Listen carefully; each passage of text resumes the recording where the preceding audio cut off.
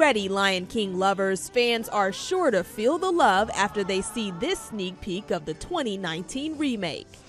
One is because I am a big fan of The Lion King. Uh, two, because it's like the most expensive movie I'll ever have anything to do with, probably. So that's thrilling. Seth Rogen shared a behind the scenes pic in the recording studio with his co stars Donald Glover and Billy Eichner, alongside director Jon Favreau.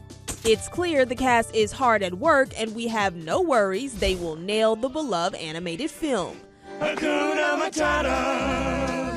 Seth and Billy are set to voice Pumbaa and Timon, a natural fit for the longtime friends. It's exciting when you get to work with people that you know well, and um, yeah, and we're good friends, and uh, so yeah, I mean, uh, overall, it's it's surreal. It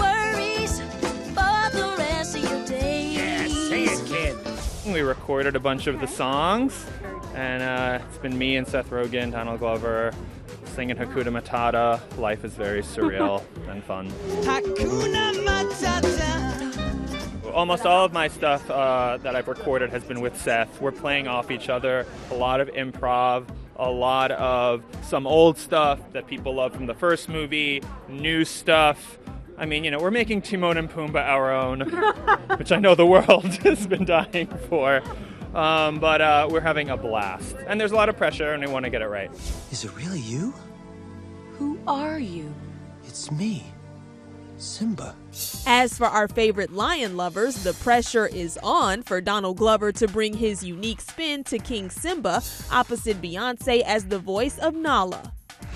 You know, it's a little intimidating from my my point of view, but like everybody who's involved like knows it really well.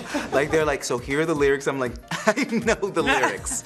Don't worry. Like I was in fourth grade when this came out. Like I I. Uh, so it, it's it, it's actually been really great, and just hearing her do it, it's been like, man, this is it's a really it's a really special thing.